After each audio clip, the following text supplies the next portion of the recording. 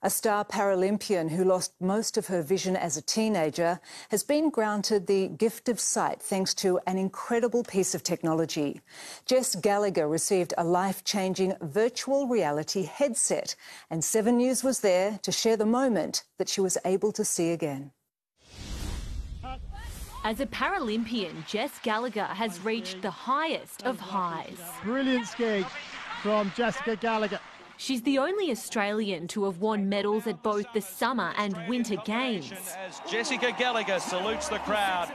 And she's done it all while being legally blind. Today, she was given a priceless gift the ability to see clearly again after losing most of her vision at age 17.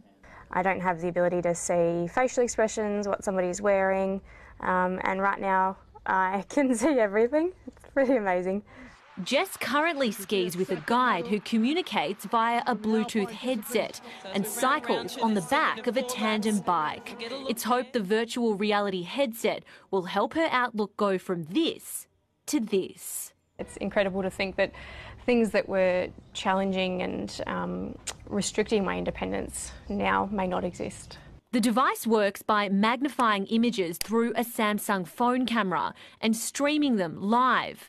For Jess, it's cast simple tasks like reading a book or playing with a seeing eye puppy into a whole new light. She's a bundle of fun, but um, now I can just see it with so much more detail. Not only can the device stream images live, it can also take stills, meaning the user can zoom in on hard to see objects. yeah, we would never have um, thought that this would be possible. Um, but, but now it is, and it's just like the starting uh, point. So the technology can only get better.